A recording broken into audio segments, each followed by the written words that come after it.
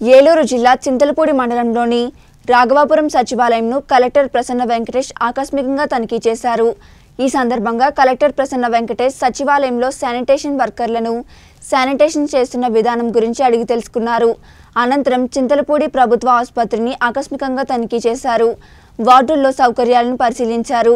Collector వెంట చింతలపూడి తహసీల్దార్ మండల అభివృద్ధి అధికారి రాజ్ మనోజ్ జడ్పీటీసీ నేర్జా తదితరులు ఉన్నారు.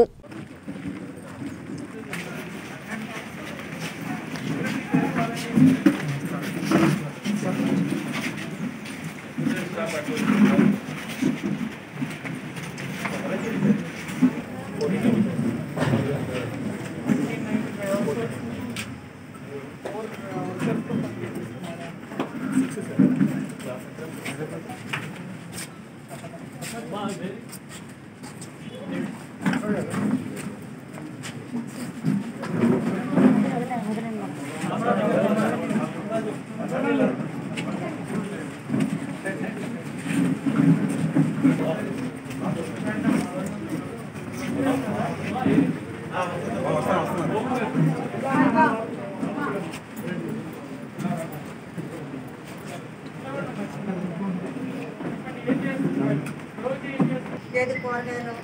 అన్నం. ఇది తక్షణ వదిలిపట్టే తీసుకుంటండి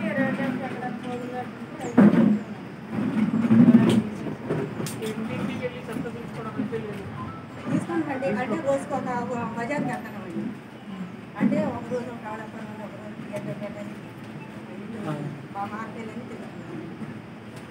ప్రతిరోజు లేకపోతే రెండు రోజులు ఒకసారో చెత్త సేకరణ చేయడం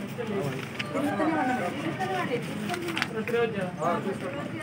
మనం డైలీ ఎక్స్పెండిచర్ చేయాలి సార్. ఇప్పుడు ఈ బ్యాటరీ వెహికల్ అంటే మేము ఆఫీస్లో కరెంట్ పెట్టుకుని మంత్లీ కాబట్టి అది ఎక్స్పెండిచర్ వెళ్తుంది పవర్ బిల్